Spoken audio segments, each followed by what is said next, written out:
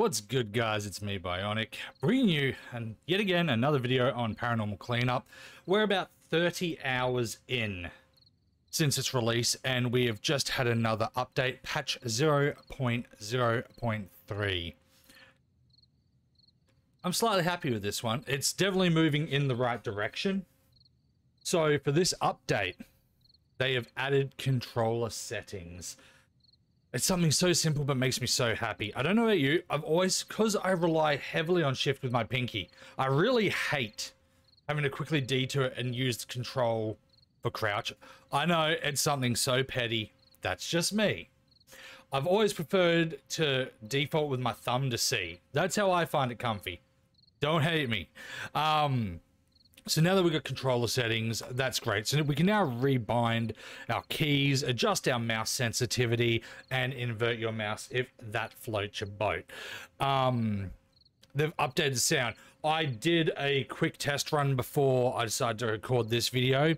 Um, sounds now get occluded by walls and floors. I can say it is sounding a lot better. You're not in, say, the starting room and you can hear the and she's all the other way at the end of the house. That's not there. It'll it gets better. Trust me on that. Play it, you'll see. Um, adjusted several sound values like volume, reverb, range, adjusted voice values. Um, they are looking for feedback in that one, so I'll be playing a bit more on that later to see what I can find for them. Now the bug fixes. They have made some changes to the AI in hopes that the ghost will stop camping in certain situations.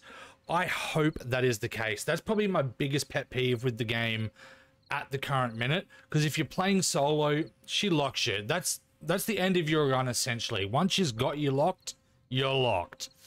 In multiplayer, it's the biggest cheese, man.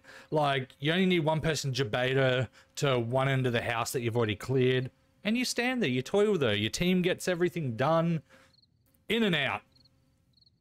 So I'm, I'm hoping that one's, I haven't seen that one properly. I'm hoping to know a little bit more later today.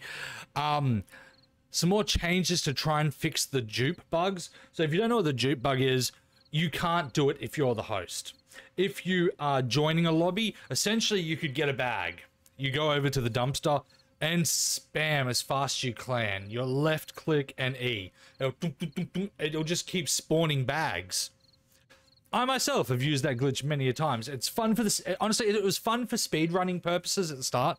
I think my fastest run in a duo is like three minutes and 13 seconds because of the glitch. Um, but that hasn't been rectified, but it is a lot better. I did test that on the run I did just before. Um, instead of me being able to infinitely spawn, um, I think the most I got out of this one, and it was either three or four. I will say four for the sake of things, but after that third or fourth, it literally just goes boom. It's, it's in the bin. You can't use it. You've got to move on. So it is on the right path to eliminating that bug. Um, some more changes to the graphics and graphic settings and hoping to increase FPS. I haven't played around with that too much. When I'm recording, I've got to drop my settings back because my encoder just doesn't like it. When I'm playing though, I play on everything maxed. So when I'm not recording or doing stuff for footage, I will test that properly a little bit later. And if it doesn't work, I might make another video and be like, yo, broken, come on. We need to get this one. Um, when the pause menu gets closed, it closes properly all sub menus like settings if they were open. I never had that problem before. So that one doesn't overly upset me too much or excite me. If it was something I had all the time, I know one of the biggest bugs at the moment, other than the camping, is when you res someone. Um, the band-aid icon will stay on your crosshair and it stays there for ages for no reason other than it's what it wants to do. But either way, this game, like I said, at the time of recording this, it's been out for 30 hours, give or take 30, 36 hours. I'm loving it. I'm having a hella amount of fun with it. Um, I'm looking for new ways to build content on it. Um, and yeah, the fact that we're up to our third update sorry, second update, first was released. in that amount of time to rectify issues we're having, to add controller bindings that which people have been asking for. It shows the game is currently on its way in the right direction.